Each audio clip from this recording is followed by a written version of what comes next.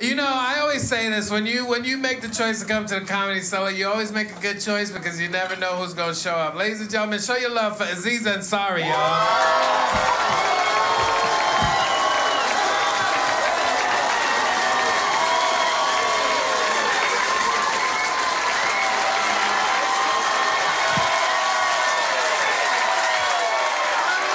Thank you, thank you, thanks. Yeah, I mean, I like doing nice theaters and everything, but sometimes you gotta, you gotta come back and compete with chicken wings.